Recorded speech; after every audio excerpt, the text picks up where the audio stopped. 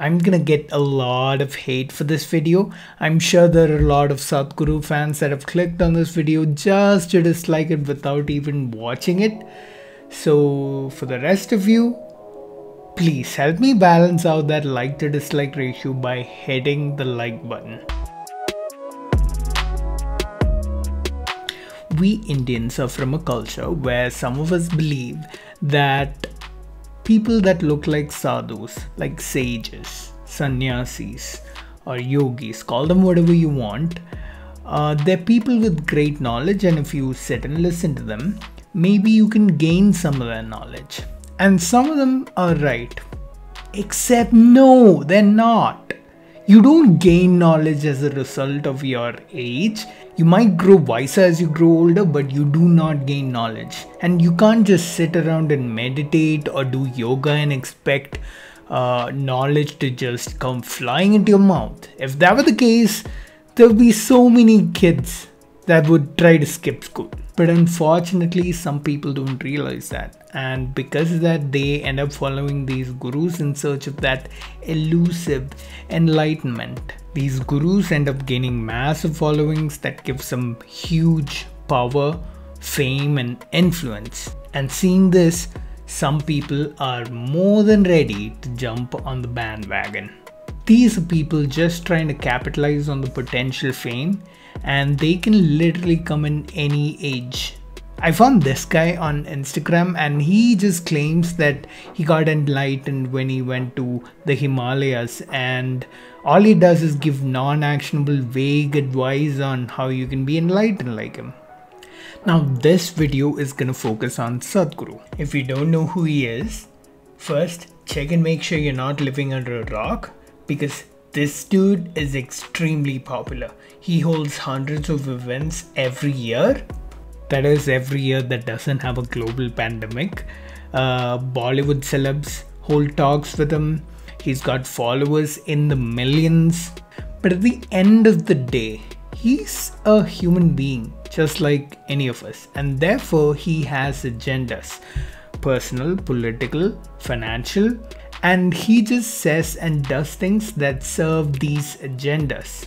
But at the same time, he's a very charismatic individual, and because of the conviction with, with which he speaks, it's very easy for people to think that what he says is true and he is saying those things for their benefit. Now, I spoke about confirmation bias in a different video, which I'll link up here.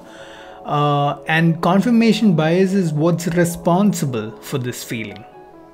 Basically, everyone tends to look for and notice things in a way that agrees with their own ideas. Basically, what Sadhguru is doing is uh, saying things that their followers uh, either already believe or automatically will accept. Now, the more he conducts speeches, the more people listen to him, the more his followings grow, and the more his businesses grow. And ideally, there's nothing wrong with that. The problem comes when he tells his huge number of followers messages, he gives them messages that are demonstrably wrong. I feel that in such a position of influence, you have a certain responsibility to be honest with your followers and deliver well researched information. Now, things that he says are clearly demonstrably wrong, and I'm to demonstrate why they're wrong in a while. Uh, but with a little bit of research, either from him or I'm sure he has a lot of people to do that for him, uh, he could have avoided saying many of those things but uh, he doesn't. He says them anyway. And uh, that tells me that he has agendas. And when you do something like that you open yourself up to a lot of criticism and that is what i'm doing here. First i should define what pseudoscience is. It's things that seem scientific but have no real basis in science. You know the things that Sadhguru claims his grandmother told him. Your grandmother told you this, didn't she? Didn't your grandmothers tell you, you should not drink water from anybody's hand, do not take food from anybody, there is a certain way? Now, I'm gonna look at the scientific claims that he makes and I'm gonna show you why they're wrong. There are many videos out there on YouTube uh, that do the same thing. Uh, you can also check those out. I found this compilation of uh, pseudoscientific things that he says uh, and the channel owner has done a great job. I'm gonna leave that uh, link in the description. Now, he makes a lot of claims that have absolutely no basis, and I'm gonna take a look at some of them over here, and yeah, let's refute them. First, this one. The moon is on fast forward today.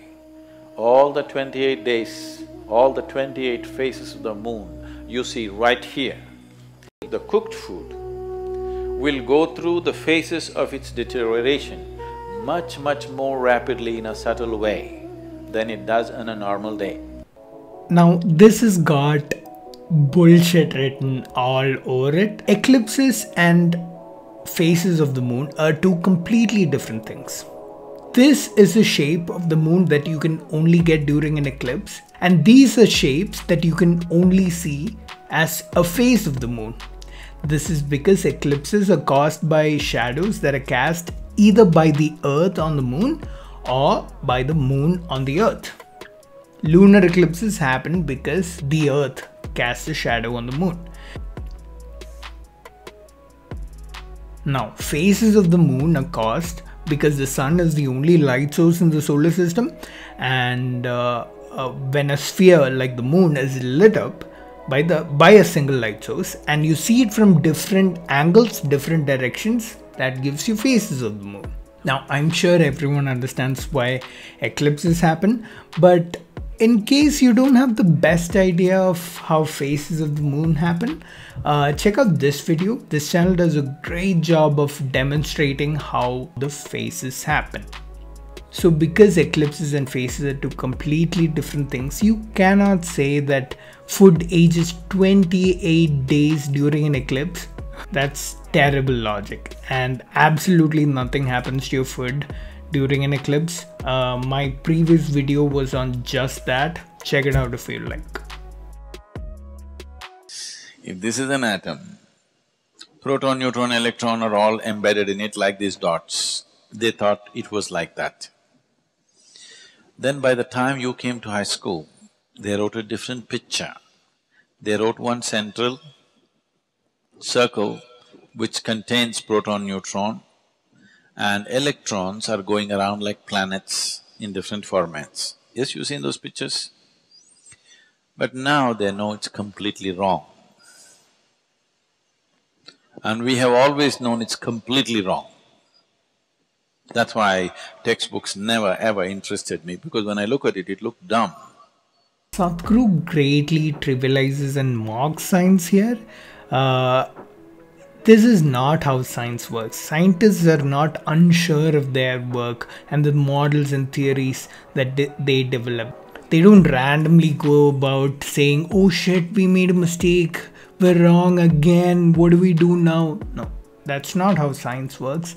I've made a video in the past about this exact process, but basically, Science is a process of observing things and developing models that are refined constantly with new observations. And that's exactly what happened with the atomic models. A model is just based on the observations so far. When there are new observations, models have to be refined. Now, Sadhguru often just mocks science. He says that oh scientists don't know shit about what they're doing. They they make mistakes often. They they admit they're wrong. They figure out that they don't know how things work and they don't know what to do. But we yogis, we knew all along that things were this way. Darwin's theory of evolution is only 152 years old. Adiyogi spoke about this over 15,000 years ago. We always told you the yogic systems always insisted that the microcosm and the macrocosm are made the same way. And at the same time, he makes some claims that he backs it up with scientific evidence. He says there's scientific evidence for some of what he's claiming. So is there any scientific evidence? There's substantial scientific evidence today. about how the molecular structure of the water can be rearranged without changing the chemical structure, even with a simple thought or a touch. There's absolutely no scientific evidence, by the way.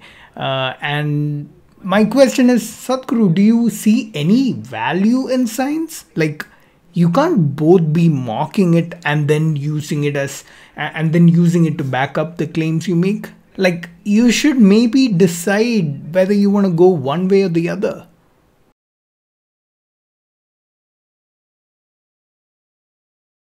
The problem is if it goes from the east, it is superstition. If it comes from the west, it becomes science. That's where it is.